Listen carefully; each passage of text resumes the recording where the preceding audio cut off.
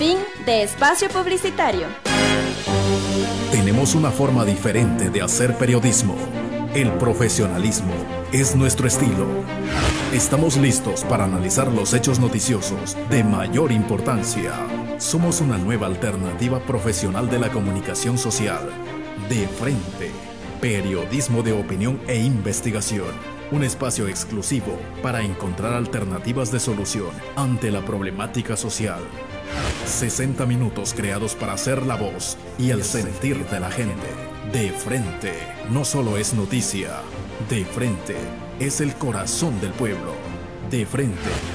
Lunes, miércoles y viernes, de 15 a 16 horas, por Radio Ondas Carchenses, 107.3 FM, con la dirección de Johnny Edgardo Chamorro. Comunicación frontal.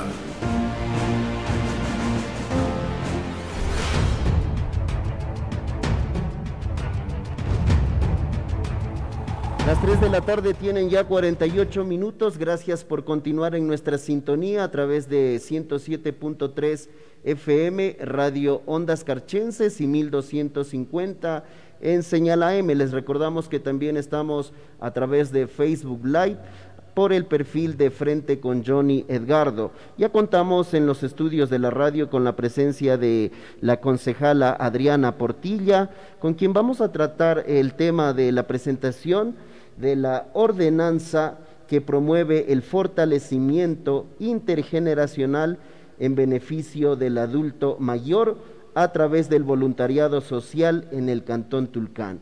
Bienvenida, estimada ingeniera Adriana Portilla, a los estudios de Radio Ondas Carchenses. ¿Y de qué trata esta ordenanza? Bienvenida. Bueno, muy buenas tardes. Agradecer el espacio para poderme dirigir a la ciudadanía del Cantón Tulcán y dar a conocer esta importante ordenanza que como su nombre eh, lo indica, pues es procurar el, eh, el, fortalecimiento intergeneracional a través del voluntariado social en el Cantón Tulcán, beneficiando a los adultos mayores como objetivo principal. Dentro de esta ordenanza, eh, bueno, se ha venido trabajando diferentes aristas, se ha trabajado tres aspectos importantes los cuales son eh, el espacio activo de los adultos mayores, eh, el fortalecimiento en sí intergeneracional, lo importante que es mantener y fortalecer las relaciones a través de espacios recreativos, sociales y culturales entre niños, adolescentes, jóvenes y el adulto mayor. Y la otra arista muy importante pues es el voluntariado social. Dentro del espacio de fortalecer el tema intergeneracional, eh, vamos a tratar de establecer en este marco jurídico eh, en armonía con las normativas eh, nacionales, actividades y proyectos desde la Municipalidad de Tulcán que pretendan fortalecer estas experiencias. Hablemos de lo importante que es la experiencia y la sapiencia de nuestros adultos mayores, pero también la energía y la juventud de los jóvenes. Si bien es cierto, dentro de la ciudad de Tulcán, la provincia del Carchi, eh, tenemos varios grupos de voluntarios eh, juveniles, como son las pastorales sociales, como son otros grupos eh, juveniles, la misma Cruz Roja, personas que han contribuido en el desarrollo de esta ordenanza. Si bien es cierto, ellos tienen su agenda eh, para realizar proyectos en beneficio de los adultos mayores, con sus dinámicas, con su experticia como jóvenes y tratando de involucrar a este sector pero muchas veces paralizan este tipo de actividades porque no hay una corresponsabilidad de ningún eh, organismo gubernamental, ya sea nacional o local. En ese sentido, amparándonos en primer lugar en la ley de participación ciudadana en su artículo 37, que ya reconoce el voluntariado social eh, dentro, de la, dentro de esta ley, y considerando que los grupos juveniles hacen este tipo de labores, eh, se ha pretendido hacer esta ordenanza, con la finalidad de que la Municipalidad de Tulcán sea ese aliado estratégico donde los jóvenes puedan ir a golpear las puertas y poder eh, recibir apoyo, coordinación, logística para este tipo de actividades. Ingeniera, ¿cómo hacer, pero cómo hacer el fortalecimiento generacional de, un adulto mayor? ¿Qué habría que hacer? O sea, ¿cómo van a ser beneficiados en este aspecto los adultos mayores? Bueno, yo creo que es importante potenciar las fortalezas, las capacidades y conocimientos de las diferentes generaciones en beneficio de la sociedad. Recordemos, Johnny, eh, años atrás cuando se realizaban eh, libros eh, que nos hablaban de las experiencias y de las anécdotas de cada una de las parroquias, donde justamente Luis Vázquez promovía estos libros a través de la municipalidad municipalidad de Tulcán y contaba cuáles eran las historias y las anécdotas de cada parroquia eh, y cómo trasladarlas a los adultos, a, los, a los jóvenes, ¿sí? Y no queden en, en, libros muertos, por decirlo así. Es solo un ejemplo, ¿no? De que la historia está en nuestros, en nuestros abuelos, de que las costumbres y el fortalecimiento que nosotros queremos lograr es desde nuestros abuelos a nuestros jóvenes y desde nuestros jóvenes a nuestros abuelos. Hay varios proyectos exitosos a nivel internacional, básicamente en España, en La Rioja, en donde se eh, realizan este tipo de, actividades y no únicamente se involucran a los adultos mayores en asilos o hospicios, sino más bien son los gobiernos los que promueven estos espacios, pero aliándose estratégicamente con los jóvenes. Es por eso que le decía Johnny, ya vendrá aquí eh, el liderazgo que tengan las personas que van a manejar estos proyectos en la municipalidad de Tulcán, porque si bien es cierto, como concejal, se presenta la ordenanza, se formula la ordenanza, y se trata de que esta ordenanza se pueda aprobar. Pero ya es otra cosa la aplicación ya desde la municipalidad de Tulcán y dejar sobre todo que este grupo a estos grupos de jóvenes eh, puedan eh, realizar sus actividades sostenibles en proyectos eh, que se vayan canalizando con nuestros adultos mayores. Hay varias actividades que se pueden realizar. ¿Qué serían cuáles en este caso? ¿Qué proyectos serían? Hablemos de los huertos. ¿Sí? Hablemos de los huertos, eh, hay muchas personas aquí, muchos grupos que son animalistas, se puede, eh, perdón, que son, eh, que son defensores de la naturaleza. Se puede, se, puede, se puede realizar este tipo de proyectos con nuestros adultos mayores desde su sapiencia que tienen. Hay también grupos animalistas para rescatar a nuestros, a nuestros, a nuestros. ¿Qué papel cumplirían en este caso los adultos mayores? Depende ya de cómo lo formules del proyecto, Johnny. Por eso este proyecto, recordemos que uno de los objetivos de desarrollo sostenible es eh, reducir los índices, de desigualdad en, a nivel mundial. Y uno de esos objetivos es involucrando al adulto mayor en todos los proyectos. Y lo vuelvo a decir, actualmente nuestros adultos mayores cumplen su ciclo, sus 65 años, y empiezan a irse a su casa la sociedad no lo regresa a ver. Y ese es el peor error que nosotros como seres humanos podemos hacer contra los adultos mayores. En el caso del huerto, por ejemplo, hablemos eh, concretamente de este proyecto que sería de un huerto. Eh, ¿Cómo sería beneficiado el adulto mayor? ¿Qué haría? los secretos de los adultos mayores. Hablan de la luna, hablan de los remedios caseros, que si el cafecito molido, que, o sea, hay, hay varias técnicas que los adultos mayores pueden eh, apoyar a aquellas personas que se dedican a este tipo de actividades.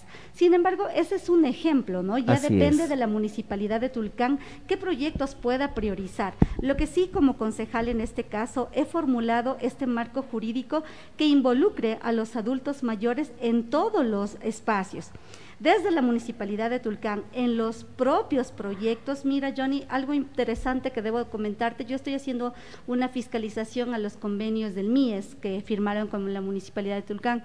Desde el año 2019 no se ha firmado ningún proyecto en beneficio del adulto mayor. Preocupante. Preocupante. Entonces, tanto eh, en este caso el gobierno no ha mirado en Tulcán un espacio donde la municipalidad pudiera firmar un convenio del adulto mayor. Tampoco hay proyectos dentro de la municipalidad que vayan en beneficio del adulto mayor. ¿Esta es gestión de la autoridad cantonal o del MIES? En el caso del, del, de los convenios es básicamente del MIES, lo que las partidas que ellos tienen para poder ejecutar con las municipalidades de Tulcán, pero no lo ha hecho con esta municipalidad de Tulcán. Ahora, porque en días pasados se vio que firmaron en otros cantones. Se firmaron en otros cantones, aquí en Tulcán no se lo ha hecho. Entonces, eso es importante de que el municipio empiece a articular proyectos que vayan en beneficio del adulto mayor. Mira, cuando formulaba esta esta ordenanza era preocupante ver que habían varias ordenanzas en varios cantones. Y digo preocupante porque eran una copy-page de la ley. que si la exoneración del 50% en el transporte, que si el pago, eh, la exoneración del impuesto predial, eh, son cosas que por ley nosotros debemos cumplirlas. Que ya están, ¿no? Que ya, están, ya están formuladas y lo que tienen que hacer los municipios es cumplir. Esta ordenanza, en cambio, tiene una connotación diferente que es dejarle esa responsabilidad también a nuestros jóvenes. Que nuestros jóvenes empiecen a valorar lo que es un adulto mayor, todo lo que se puede tener sobre el adulto mayor y generar proyectos que vayan eh, en beneficio de ellos. Una de las connotaciones importantes para poder recibir o condiciones importantes para poder recibir la logística de la municipalidad, el apoyo de la municipalidad, justamente es involucrar en sus proyectos a los adultos mayores, en cualquier campo que lo, que lo fueran así. Cuando yo me reunía con las pastorales juveniles, ellos me decían, ¿cómo poder articular, ponte el campamento de la MESED que ellos hacen para los niños de escasos recursos y poder eh, beneficiarse de la municipalidad de alguna manera, involucrando adultos mayores? Entonces yo les decía, una mañana deportiva entre jóvenes y adultos mayores. Que pueden ser los encostalados, que pueden ser los juegos tradicionales, cosas que se están perdiendo con nuestros jóvenes por el tema de la tecnología y que los adultos mayores nos pueden refrescar la memoria y nos pueden ayudar a rescatar esas tradiciones que tanto ponderamos a veces, ¿no? De rescatar las tradiciones, de rescatar las tradiciones, pero no sabemos ni cómo hacerlo ni cómo articular. Este es una ordenanza que nos va a permitir también eh, trabajar con ese voluntariado social, con esos jóvenes que tienen muchas ganas de, darle eh, espacio a estas actividades importantes. Y también esta ordenanza también tiene eh, algo muy importante que es la protección de los derechos a los adultos mayores a través del Consejo de Protección de Derechos. Antes de continuar con ese, ese tema, se habla de que el fortalecimiento se lo haría a través del voluntariado social que son quienes acá en Tulcán? Bueno, eh, hay varios grupos de voluntariado social, mira la misma Cruz Roja, están las... Eh, o sea, ya sería ley para ellos en este caso. Está la pastorales juveniles, es un marco jurídico que te permite articular. En eh, la ley de participación ciudadana lo establece ya el voluntariado social como algo legal, es decir, no necesitas ser jurídico tú para realizar tu voluntariado social. Entonces, bajo esa ley, tú puedes articular dentro de la municipalidad de Tulcán convenios y proyectos que te puedan ayudar a generar estos espacios. Ingeniera, eh, pero si es voluntariado, ¿cómo? Si es voluntario el trabajo, a ver, vamos a hablar. ¿cómo normarlo para que puedan inmiscuirse dentro de esta ordenanza? Ya. Eh, en este caso es importante aclarar y bien la pregunta, ¿cómo lo hago? Soy pastoral juvenil. Mi grupo económico, mi grupo de edad está entre los 14, 15, 16 y hasta los 17, 18 años, que es cuando ya se van a la universidad y, ya no pueden eh, formar muy activamente estos grupos. Eh, remuneración económica, lo que sus padres le den, básicamente hablaremos de que unos 10 tal vez dólares semanales o tal vez menos. En ese sentido, ¿tengo yo para poder generar espacio? No lo tengo. Entonces, por más buena intención que yo lo tenga de ser voluntario, no tengo el recurso necesario. Pero la municipalidad sí tiene bus, la municipalidad sí puede articular materiales didácticos, la municipalidad de Tulcán sí puede generar eh, la dotación de espacios públicos para realizar actividades. Entonces, ahí es donde se va complementando ese quehacer y esa relación intergeneracional con el municipio de Tulcán como aliado estratégico. Es gestión municipal, en otras palabras. Es básicamente la, la, articulación que tengan los grupos juveniles de voluntariados y también la municipalidad de Tulcán, porque la municipalidad de Tulcán ya también tendrá que incluir dentro de sus proyectos un recurso municipal que asigne también este tipo de proyectos dentro de su POA. ¿sí? Es decir, las jefaturas de inclusión social, patronato municipal, el Consejo de Protección de Derechos, ya tendrán que también articular proyectos y programas que vayan en beneficio del adulto mayor. Y dentro de esos proyectos y programas van a tener que también acoplar los que la ciudadanía o la sociedad civil los presente como voluntariado. A 11 meses de culminar la administración, ¿ha habido alguno de estos proyectos en, con relación al fortalecimiento del adulto mayor? En este caso no, por eso es la preocupación de, presentar esta ordenanza. Durante todos los tres años y más que llevamos. no ha habido, en primer lugar porque el, adulto mayor está considerado dentro de los sectores prioritarios y recordemos que la pandemia hablaba de ciertas restricciones para los eh, sectores prioritarios. Entonces, básicamente podría ser esa la, razón, no, pero no ha habido eh, espacios eh, que generen esta oportunidad de, de fortalecer el envejecimiento activo. Eh, y al hablar de envejecimiento activo, nos vamos a la parte social, nos vamos a la parte cultural, nos vamos a la parte recreativa y sobre todo ese afianzamiento de relaciones que tanto hacen falta. Eh, como yo lo mencionaba, hay países donde tienen proyectos exitosos. Mira, eh, las mujeres que han sido víctimas de violencia de género en España acuden donde las adultas mayores mujeres, con la finalidad de aprender a cocinar, con la finalidad de aprender a bordar, con la finalidad de aprender varias técnicas que van a ser a futuro su sustento eh, económico y poder salir de esa violencia de género que han tenido. Entonces, sí, eh, mirar en nuestros adultos mayores esa posibilidad de aprender de ellos y de que ellos también aprendan de nosotros y darles una vejez digna. Ahora, en la segunda parte que íbamos a entrar, ingeniera, eh, ¿cómo es el tema de la protección con esta ordenanza para el adulto mayor? Bueno, es importante que para efectos de análisis de situaciones que pongan en riesgo el ejercicio o cumplimiento de los derechos de las personas, el Consejo Cantonal de Protección debe formar o debe conformar rutas estratégicas eh, de, de defensa a las personas adultas mayores. Esto es a través de conformar inclusive una mesa intersectorial de adultos mayores eh, con la finalidad de que eh, los organismos gubernamentales puedan apoyar este tipo de, eh, de asuntos de protección. También difundir en los, en, los medios de comunicación, en los espacios donde podamos articular comunidades educativas, comunidades parroquiales, se lo puede hacer también los derechos de las personas adultas mayores y no sentarlo en una ordenanza como ya lo había mencionado, como en otros cantones, sino más bien eh, concientizar de que esto es una ley y de que esta ley se debe cumplir.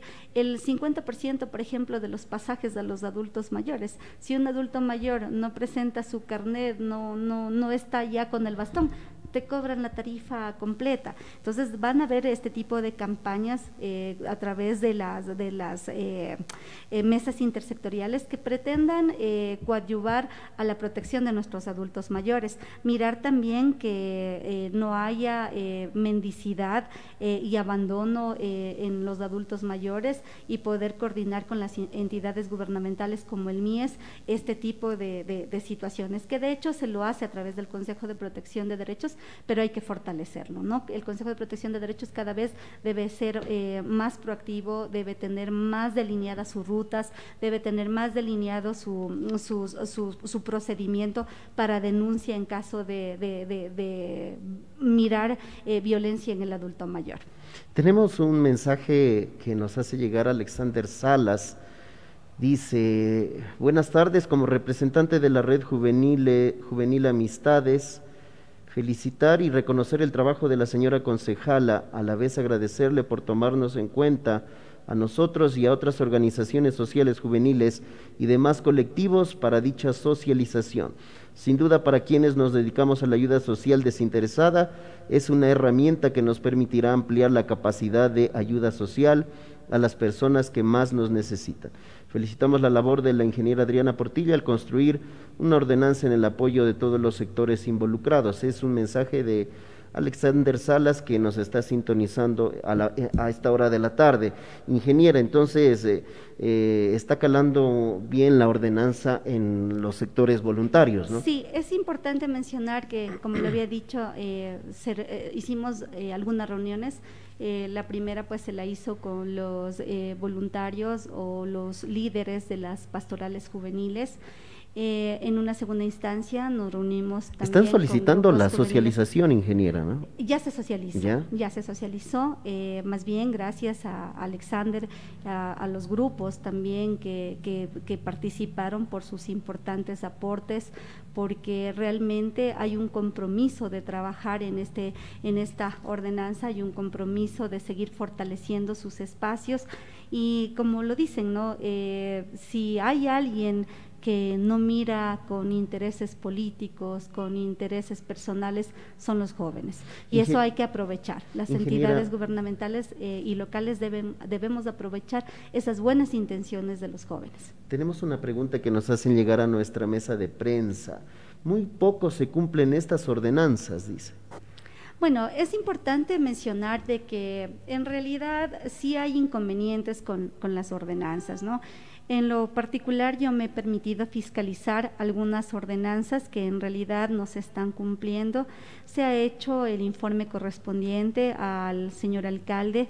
No he sido contestada sobre ninguna de estas eh, ¿Cuáles no se están cumpliendo? Por ejemplo, eh, yo me había permitido presentar una ordenanza eh, del deporte la cual eh, se demoró mucho en ejecutarse, eh, la aprobamos en septiembre del 2021. Ya es ley. Sin embargo, sí, sin embargo, eh, bueno, se tuvo que hacer esta fiscalización porque en algunos espacios se seguía cobrando por parte de los instructores porque no estaban contratados, no se había tomado en cuenta algunas aristas de la ordenanza, inclusive había un problema en el registro oficial, no se había sentado el, rubro correspondiente de, ello. Entonces, en realidad, eh, como concejales, nosotros lo que hacemos es legislar.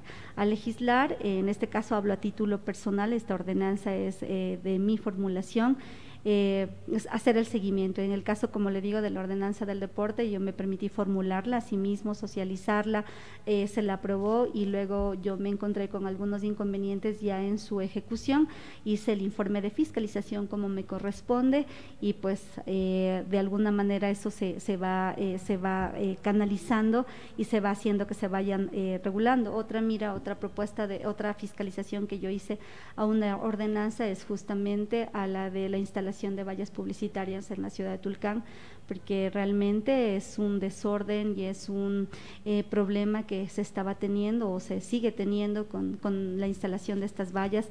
Hay varias en la ciudad de Tulcán que están en, eh, en completo deterioro. Eh, entonces me permití de igual manera hacer esta fórmula, esta fiscalización a esta ordenanza eh, y así, bueno, he ido también haciendo fiscalización al, tema de las áreas verdes. Pero se, eh, se, han determinado los responsables, eh, en este caso, del incumplimiento, que sería, en este caso, los directores. Como fiscalizadores, nosotros hacemos nuestro trabajo. En este caso, y, y, y, y bueno, yo no puedo saber qué fiscalizaciones hayan hecho los compañeros concejales. Eh, yo hablo por las mías a título personal, los informes de fiscalización que yo los he presentado como Adriana Portilla también han ido dirigidos a ordenanzas, han sido emitidos los informes al señor alcalde y ya está en manos del señor alcalde eh, sancionar o, seguir las recomendaciones que como Pero dentro de la contestación, estimada ingeniera, eh, le debieron hacer conocer que ya fueron sancionados en es este lo que me permitía indicarle hace un momentito que no hemos sido contestados.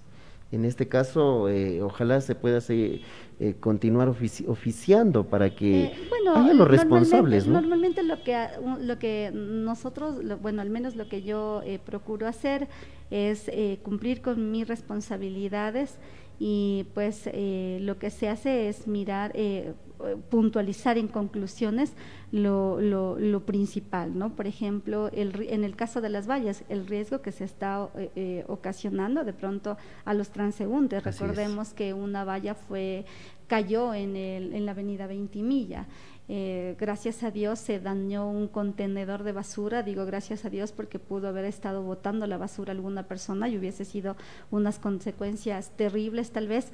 Y bueno, nosotros, yo lo que he hecho es presentar ese informe, determinar todas las, todas las vallas que se encontraban en, mala, en mal estado y bueno, eh, ya depende de la municipalidad de Tulcán la responsabilidad de esto. Y así en otras situaciones que uno ha podido fiscalizar, bueno, son varios temas. Eh, yo me centraba básicamente a la pregunta de la, de la señora y en realidad tiene mucha razón. Hay varias ordenanzas que no se cumplen. Mire, con mucha preocupación yo me he permitido eh, decirlo en el seno del Consejo Municipal, el tema de la ordenanza de las aceras, ¿no? Y de alguna manera ver cómo no se está respetando también la zona azul. Eh, vemos que en este mismo momento no había dónde estacionarse y es porque, bueno, pues se podría decir arbitrariamente se colocan conos de seguridad, se colocan sillas, eh, se colocan varias cosas en zonas azules que de acuerdo a la ordenanza pues están eh, disponibles para quienes tengan su vehículo, eh, hagan el pago de la zona tarifaria, pero no se está mirando eso. Igualmente, como yo lo decía, las, las aceras eh, tenemos ese problema de, los bloqueos con diferentes eh, cosas que les ponen a, las aceras y que es imposible transitar ya en, las aceras del, del, cantón. Hay la ordenanza, nosotros como, como concejales la hemos aprobado esta ordenanza, pero lamentablemente no, no se cumplen, ¿no? Entonces aquí sí es importante eh, hacer un llamado a la dirección de control que realmente es la dirección que fue creada en esta administración para, para controlar, como su nombre lo indica, pero que eh, en realidad sí deja mucho que, decir en el tema de, control de algunas cosas. Lamentable, ojalá se puedan tomar los correctivos necesarios. Ya para concluir, estimada ingeniera, eh, ¿qué falta para, para ya que esta ordenanza sea ley cantonal? Bueno, ya existe la disposición del señor alcalde eh, de trasladarla a la Comisión de Igualdad de Género para un informe preliminar eh, previo al análisis de la Comisión de Legislación y Fiscalización. Eh, tenemos una buena expectativa. Eh, en lo personal he recibido la felicitación del Consejo Intergeneracional para la Igualdad de la ciudad de Ibarra por ser la primera ordenanza a nivel nacional que se la está haciendo en, este sentido y que podría replicar en los demás cantones. Justamente el día de mañana he sido eh, invitada al lanzamiento de la Agenda para la Igualdad en la Pontificia Universidad Católica de Quito. Estaremos allí porque justamente eh, se va, eh, desde esta agenda de igualdad, se va a solicitar que se asignen presupuestos también para el cumplimiento de lo que por ley le corresponde a los consejos de protección también. No se, no se tiene fecha aún de la entrega del informe. Bueno, esperemos que sea mínimo en, en, un mes que pudiéramos estar ya eh, eh, promulgando en el registro. Vendría el primer debate, segundo. Así es. Perfecto. Queremos agradecerle a la ingeniera Adriana Portilla, concejala del Cantón Tulcán, quien eh, presentó, me olvidaba, ¿qué fecha fue que presentó la ordenanza? El 4 de abril. El 4 de abril presentó la ordenanza en favor del adulto mayor. Eh, nosotros eh, ponemos punto final a esta programación y les invitamos para que el día miércoles nos reencontremos en una entrega más de este, su espacio de opinión e información de frente con Johnny Edgardo. Les esperamos en punto de las 3 de la tarde del día miércoles y agradecer a nuestro equipo de producción, a Byron Villarreal y a los controles de eh, Daniel Narváez. Una buena tarde.